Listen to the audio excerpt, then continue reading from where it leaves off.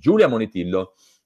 fare la spesa è diventata un'impresa. Un chilogrammo di cime di rapa, che buone, che si compravano un euro, adesso costano 8 euro. Lo so perfettamente, cara Giulia, ed è giusto parlarne, perché io come te faccio la spesa, sempre faccio tutto quello che è necessario per dare una mano eh, alla mia famiglia, tutto quello che è necessario farlo, ed è diventato folle, folle alcune cose. Parlavo con Emanuele proprio i giorni scorsi. Eh, io mh, mangiavo prima, ve lo dico, il salmone perché è proteico, siamo fissati alla palestra, queste robe qua, eh, o mangiavo la bresaola cancellati tutti, ora un po', per, un po', perché non voglio più mangiare carne o voglio limitare a carne anche il pesce, un po' perché non è più, non è più fattibile. Ora uh, non riesco a prendere neanche il tonno.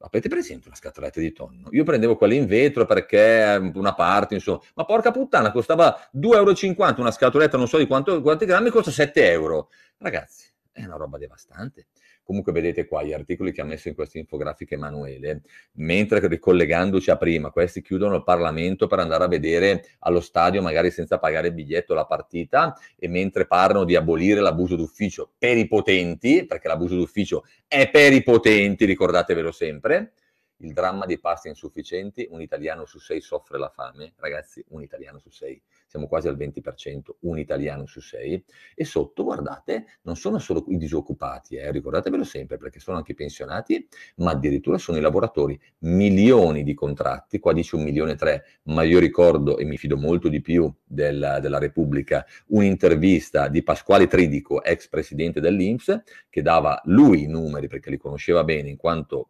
professionista, tecnico, intelligente e eh, competente, eh, che, che, dava dei numeri, qua dice un milione e tre, di contratti sotto il salario minimo, cioè gente che comunque non arriva alla fine del mese.